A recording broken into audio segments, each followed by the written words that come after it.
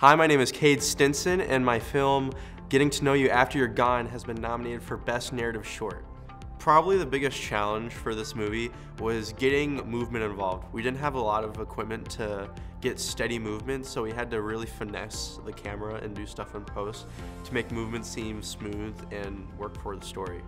Something that was really funny for me is when we were shooting a, a, certain scene with an older couple and we had them dancing and it was supposed to be a real emotional scene in the movie. And I look back and I see some of my female crew crying and I just thought that was really funny to me because I was not expecting that at all. Our post-production team really took something that could have been a mediocre movie and turned it into an amazing film.